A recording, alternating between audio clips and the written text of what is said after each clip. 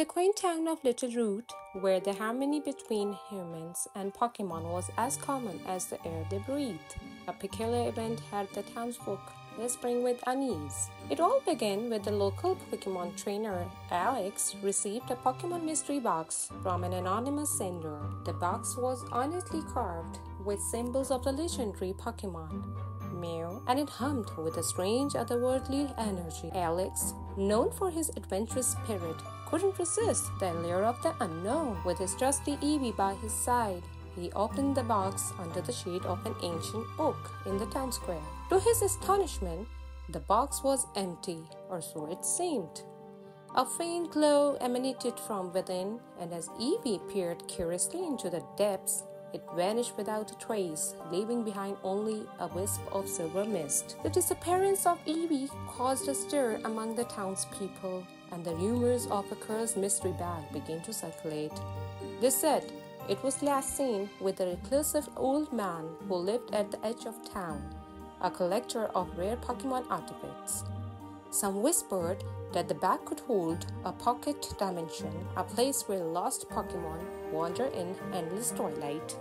Determined to find his beloved companion, Alex embarked on a quest that led him to the old man's door, where he was greeted with a cryptic smile and an invitation to a mystery dinner. The old man, known as Mr. Hawthorne, was a connoisseur of enigmas and had a reputation for hosting dinners that were as baffling as they were extravagant. As the night fell, Alex joined a table of eccentric guests, each with their own tales of encounters with the supernatural. The dinner was lavish and the conversation intriguing. However, Alex couldn't shake the feeling that there was more to this gathering than met the eye. Mr. Hawthorne watched him with an intensity that was unsettling, and the mystery bag sat ominously on a pedestal in the corner of the room, as if waiting for the right moment to reveal its secrets. Just as dessert was served, a power outage plunged the house into darkness. A series of gasps and shuffles echoed through the dining hall, and when the lights flickered back to life, the mystery bag was gone. Panic ensued as the guests searched frantically, but it was nowhere to be found. Mr. Hawthorne remained eerily calm, his eyes fixed on Alex.